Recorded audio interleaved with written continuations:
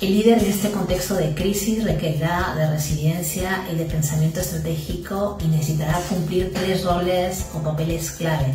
El primero, enfrentar el presente respondiendo con responsabilidad para garantizar la continuidad de la empresa.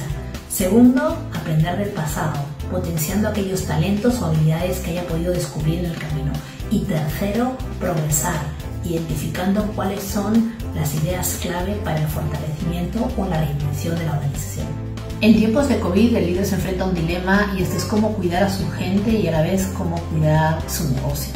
Y todo esto en unas circunstancias de alta emocionalidad negativa por la ambigüedad, por la incertidumbre, en las cuales el líder lo que necesita es generar motivación y entusiasmo.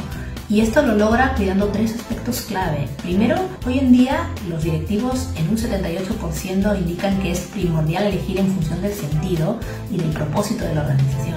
Sin embargo, en estos tiempos solo un 68% lo están haciendo. Un segundo aspecto clarísimo es mantener la estabilidad mental y la calma.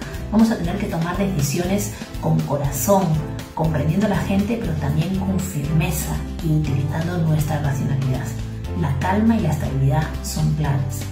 Y un tercer aspecto es la agilidad. Tenemos que avanzar y por tanto tenemos que actuar. Es clave en este sentido no tenerle miedo al error, y rectificar según vamos hablando. Liderar en un contexto COVID pasa por comprender nuestra vulnerabilidad como seres humanos.